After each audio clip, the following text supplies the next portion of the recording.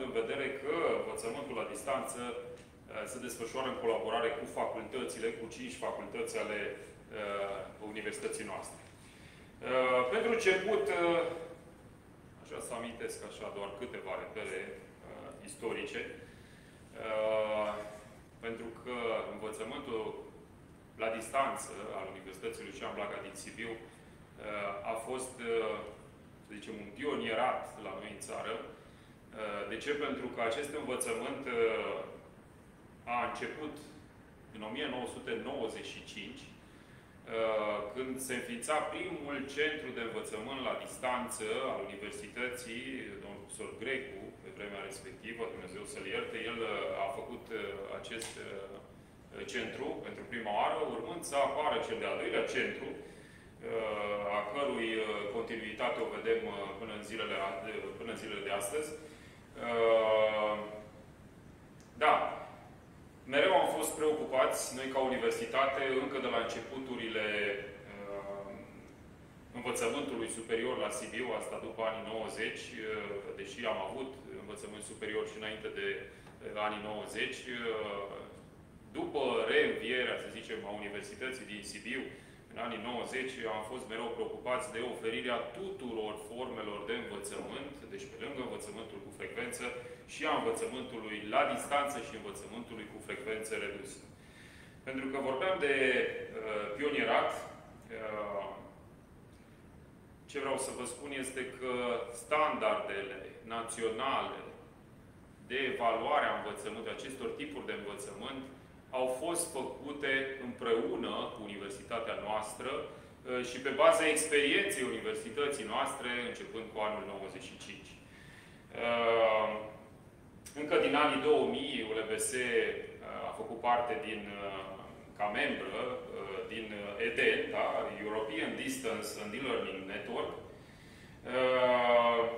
iar ca și formarea cadrelor didactice inițială, Eh, noi am colaborat în 2003 cu Universitatea de Științe și Tehnologie din Lille, Franța. Eh, în momentul acela am educat, eh, am format, am educat, am format peste 60 de cadre didactice la vremea respectivă în tehnologiile ID împreună cu această universitate din Franța. Asta au fost începuturile. Ehm, departamentul nostru, efectiv, în structura, în structura în care există și acum, eh, s-a înființat în 2003 la nivelul universității, eh, împreună cu, iar împreună cu, univers, cu facultățile din cadrul universității, eh, ne ocupăm, de fapt, de organizarea tuturor activităților pe care le desfășurăm în cadrul acestor programe de studii ale învățământului la distanță și învățământului cu frecvență redusă. Uh, în 2010, 2011, iarăși un uh, punct de reper uh, pentru învățământul la distanță sibian, s-a implementat un proiect finanțat pe fonduri europene, împreună cu alte trei universități la nivel național, vorbim de Universitatea din Alba Iulia, din Timișoara, respectiv din București, Uh, împreună am fost într-un proiect, noi am fost partenerul principal. Uh, acel proiect se numea frumos Excelența academică în învățământul la distanță și învățământul cu frecvență redusă, unde mers pentru calitate. Asta denotă faptul că ne-am preocupat de-a lungul timpului de calitatea acestui tip de învățământ Uh, și ce pot să vă spun din calul acelui proiect? Uh, am oferit o serie de cursuri privind managementul calității în învățământul la distanță. Uh, am elaborat primul ghid de elaborare a materialelor didactice pentru învățământul la distanță la nivel național, care a și fost folosit ca model de altfel pentru toate universitățile care desfășoară aceste forme de învățământ. Am oferit cursuri de perfecționare tuturor cadrelor didactice implicate în acest proces de învățământ, în ceea ce privește utilizarea platformelor e-learning. Uh, vis-a-vis -vis de aceste platforme e-learning, uh, atunci când am început noi să folosim asemenea instrumente în învățământul la distanță, uh, cred că am fost singurii din țară care aveau o platformă dezvoltată prin forțe proprii, deci nu era o platformă achiziționată de pe piață la nivel mondial, ci am folosit una dezvoltată de către un profesor al universității noastre, chiar mulți ani, platforma MySelf, trecând pe alte platforme, alte platforme doar anul trecut, în perioada pandemiei, când am achiziționat un pachet mult mai atractiv, da? vorbim de pachetul Google pentru educație.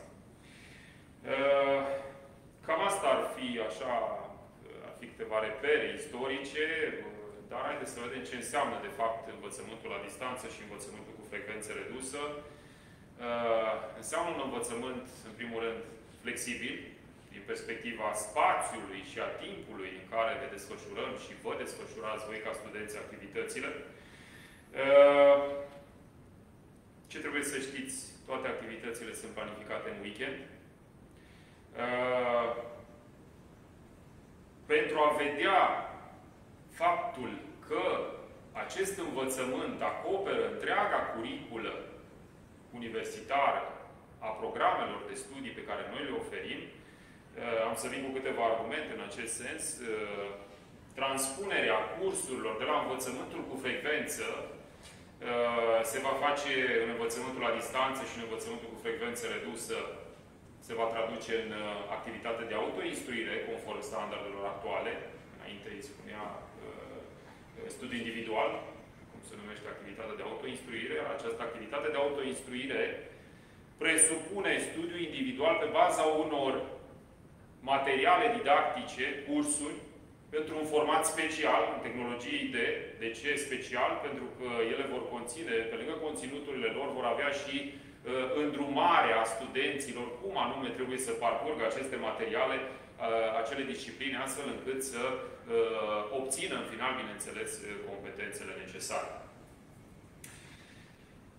Ce trebuie să știți? Că planurile de învățământ pe care le regăsim la forma de învățământ cu frecvență, le vom regăsi, bineînțeles, transpuse în format idei IFR, le vom regăsi toate disciplinele în planurile de învățământ de la aceste forme de învățământ. Adică nu se fac alte discipline, nu uh, se face un număr mai mic de ore.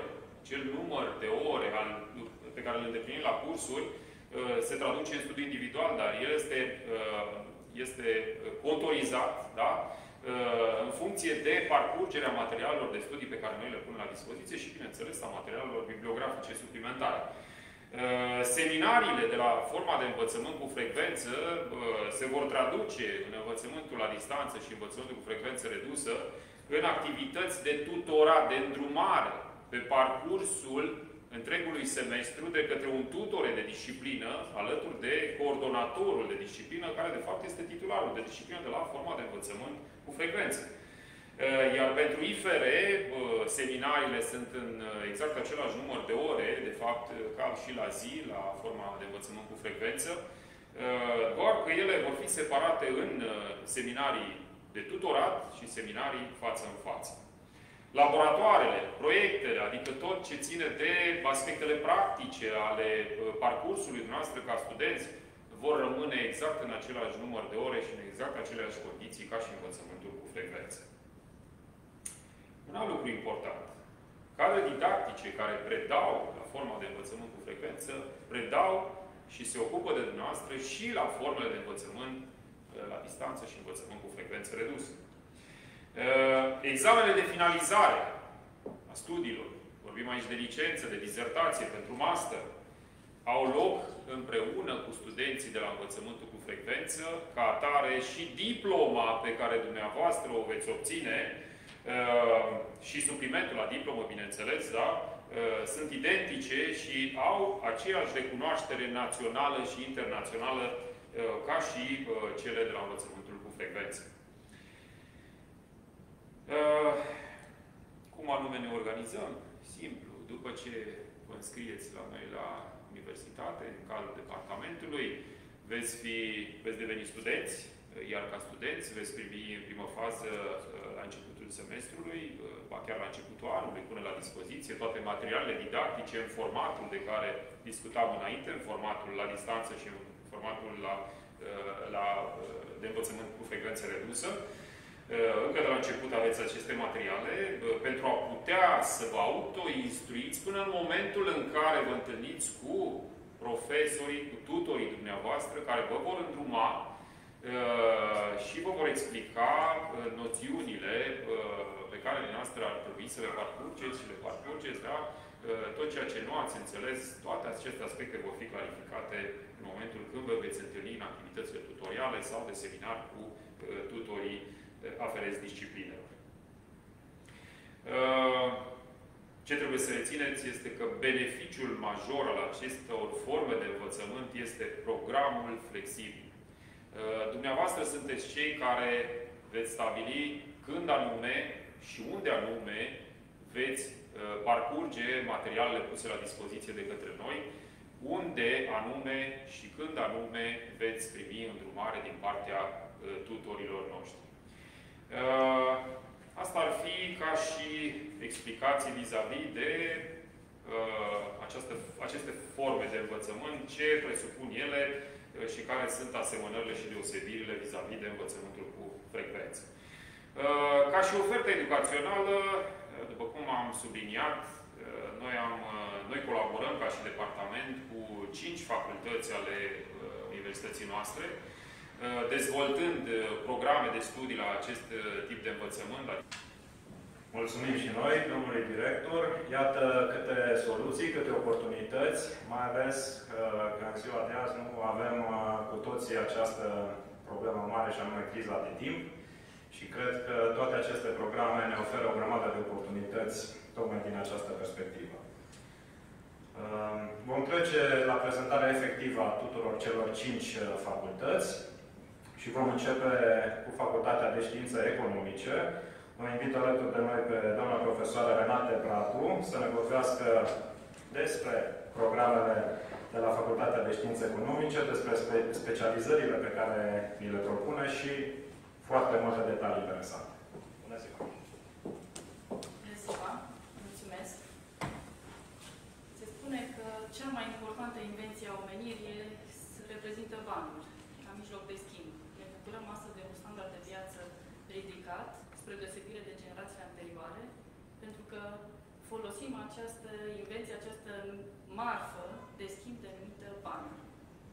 De aceea considerăm că nici o zi fără noapte și nici o firmă fără economist.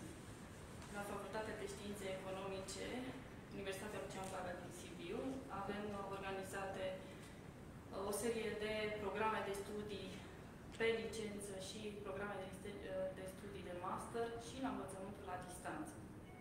O să le dau citire pe rând și o să încep cu uh, specializarea contabilitate și informatică de gestiune, care la învățământul la distanță oferă în admiterea din iulie-septembrie 2021 100 de locuri.